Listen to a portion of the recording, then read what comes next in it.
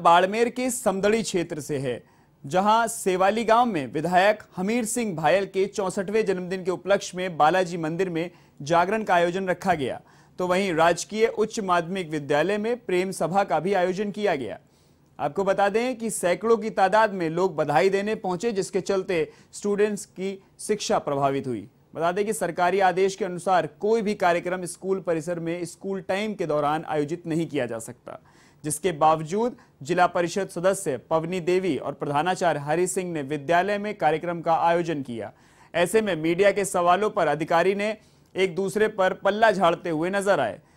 इस दौरान रानीवाड़ा विधायक नारायण सिंह देवल, पूर्व गृह राज्य मंत्री अमरा राम चौधरी, भाजपा जिला अध्यक्ष आदूराम मेघवाल समेत गणमान्य लोग मौजूद रहे।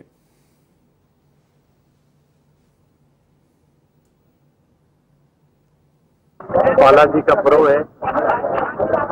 सेवाड़ी बालाजी 2018 में जब मैं इलेक्शन लड़ रहा था, उस समय में गाँव वालों ने एक दर्शन यहाँ कार्यक्रम रखा था। उन्होंने कहा था कि बालाजी को जागरण देना है। आज रात को बालाजी के सेवाड़ी बालाजी के यहाँ जागरण था और आज सभा है।